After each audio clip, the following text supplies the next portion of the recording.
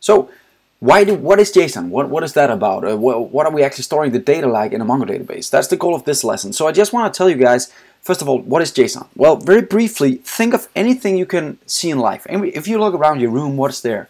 If you find like uh, your table, what's on the table? Well, if we want to describe that, JSON is a way for us to describe the table, the object of the table and what's on there and information of any real life object. We can describe that inside this JSON language. Like in this case, we have some kind of name, which is the first name of John, the last name of Backus.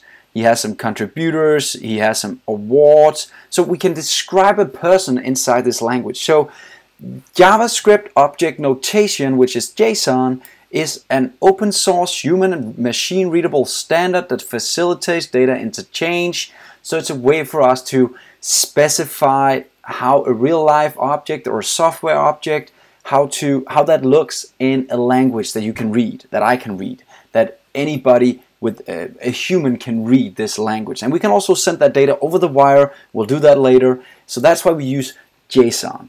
Um, next, we'll talk about BSON, which is a build on top of JSON. But before we go there, we have another way to transport data, which is XML. I'm not going to cover that that much, but I'm just going to give you guys a very brief uh, overview of, of XML later if in the end of this series if you want to use that instead. But we are going to use JSON for all our transportation of data and even our Mongo database is actually using a version of JSON called BSON to store their data inside the database. So let's have a look at what BSON actually is compared to JSON. This is a JSON document by the way, so that's how you can just get a quick overview. I'll dive into this in the next lessons.